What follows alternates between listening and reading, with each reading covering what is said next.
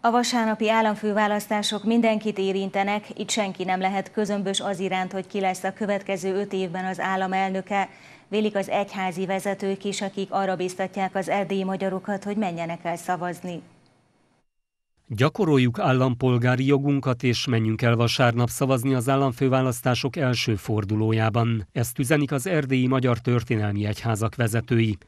Jakubinyi György Gyulafehérvári római katolikus érsek szerint keresztényi kötelesség élni a szavazati jogunkkal.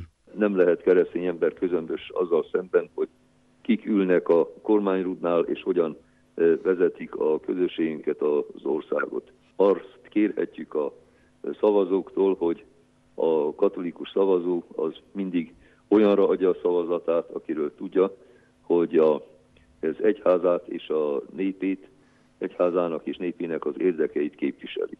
Járuljunk mindannyian hozzá az ország dolgainak az alakításához, ehhez pedig a választásokon való részvétel a legjobb mód. Üzeni Kató Béla a református püspök. Minden választás egy lehetőség arra, hogy az ember kifejezhesse valamilyen véleményét. Vannak időszakok, amikor ezt meg lehet tenni, most meg lehet tenni. Mi pedig arra buzdítjuk a közösségünket, hogy mindenki minden választáson vegyen részt, és azzal a kevés hozzájárulással hozzá lehet járulni az ország, a világ alakításához, azzal mindannyian járuljunk hozzá.